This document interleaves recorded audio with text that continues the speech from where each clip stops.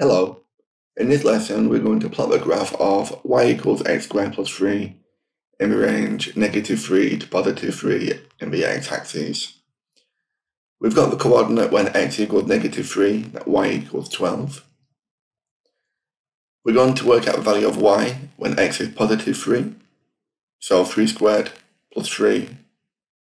3 squared is 9. 9 plus 3 makes 12.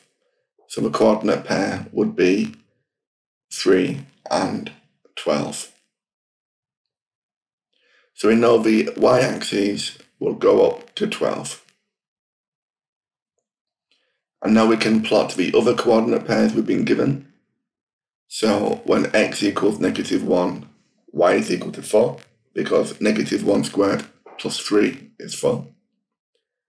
And 2 squared plus 3. 2 squared is 4. 4 plus 3 is 7.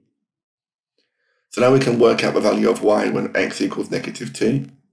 Negative 2 squared is 4. 4 add 3 is 7. And 0 squared plus 3 is 3. And 1 squared plus 3 is 4. So the coordinate would be 1, 4. So now we've got our points, we can plot them together with a smooth parabolic curve.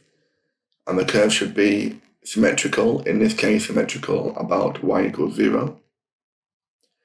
And we can use this parabola to solve the equation 10 is equal to x squared plus 3, because we can take y is equal to 10.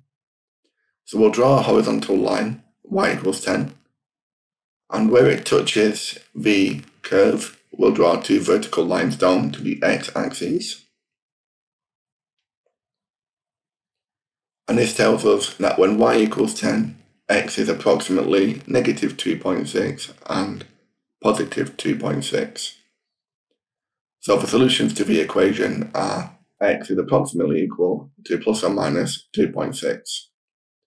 For question B, when y is equal to 5.5, we can work out the values of x. We'll draw a horizontal line at y equals 5.5 to the curve.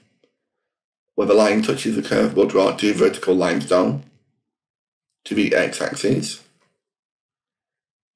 And you can read off these points as x is approximately negative 1.6 and positive 1.6. So the solutions are approximately plus or minus 1.6. Thank you for watching, and I do hope you found that useful.